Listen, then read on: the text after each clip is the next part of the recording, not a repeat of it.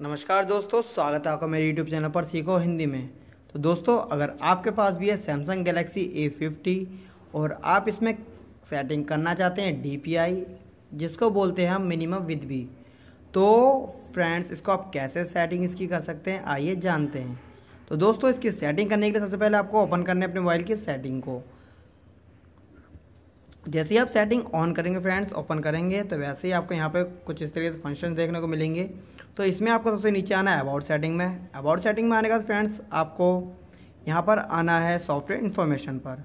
Software information में आने का दोस्तों, ये देखिए यहाँ पर लिखा है बिल्ड नंबर तो इसको आपको क्लिक करना है पाँच से सात बार।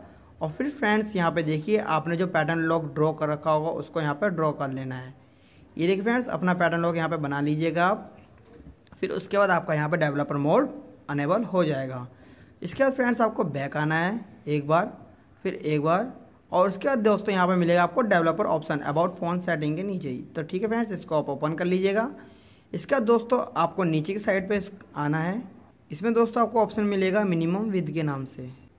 तो दोस्तों, जैसे कि आप देख सकते हैं, यहाँ पर लिखा है मिनिमम विद और four one one D P तो फ्रेंड्स ये देखिए, इसको आप जब भी सेटिंग कीजिएगा 300 से कम मत रखिएगा एंड 600 साढ़े छः सौ से ज़्यादा मत कीजिएगा। अगर आप इसकी वैल्यू ज़्यादा कर देते हैं या ज़्यादा कम कर देंगे या ज़्यादा बढ़ा देंगे नंबर्स तो आपके जो है इसमें फ़ोन में प्रॉब्लम आ सकती है और आपकी स्क्रीन ब्लैक हो सकती है। तो ओके फ्रेंड्स जैसे मेरी इसमें डी सेटिंग है फोर वन वन तो मैं इसको यहीं पर सेट करके इतने पर ही छोड़ दूँगा। तो इस तरीके से आप इसको अनेबल कर सकते हैं सेटिंग कर सकते हैं। Okay friends thank you so much अगर आपको मेरी वीडियो अच्छी लगी प्लीज़ को लाइक कीजिएगा एंड मेरे चैनल को सब्सक्राइब कीजिएगा।